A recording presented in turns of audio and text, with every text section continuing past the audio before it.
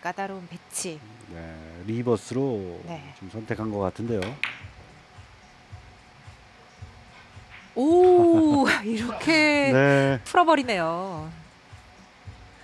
참 김경호 선수 맥 빠지겠습니다. 네.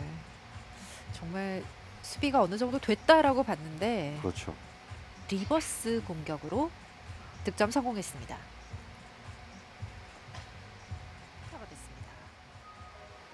참 어려운 배치죠 지금도. 흰 공의 오른쪽이 보이나요? 아 오호, 보였어요. 네. 아우 굿샷이에요. 자 찾아냈던 네. 김경호 선수 이제 2점 차가 됩니다. 안 보이는 게 아닌가 싶었는데 보였어요. 네. 그러면 뭐 무에서 유를 창조한 것까지는 아니네요. 좀 난구를 해결한 정도죠. 네.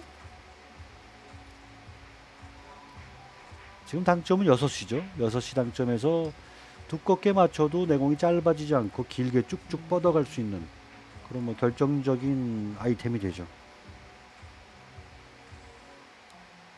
어, 출발이 너무 좋았던 김인건 선수인데 네, 그렇죠. 묘하게 흘러가고 있습니다. 10점 이후에 저조했고요.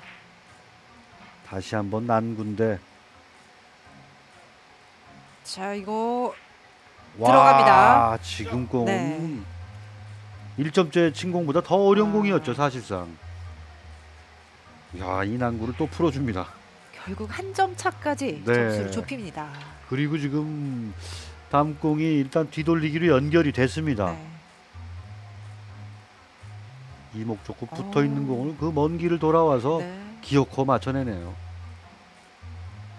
아, 일단 키스 확실하게 빼야죠.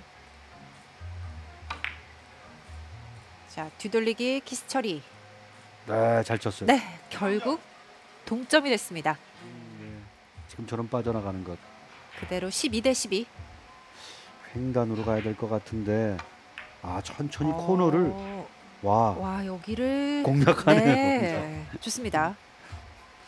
어 김경호 선수가 굉장히 잘해주고 있는데요. 네.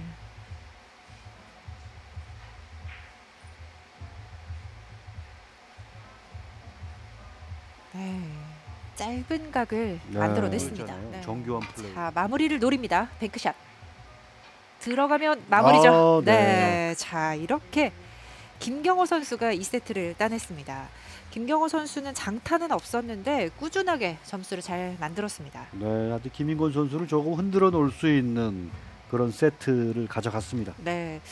자, 김인권 선수가 2이닝 10점까지 왔을 때 좀 빨리 경기가 끝나는 게 아닌가 생각을 했거든요. 네, 그런 분위기였죠.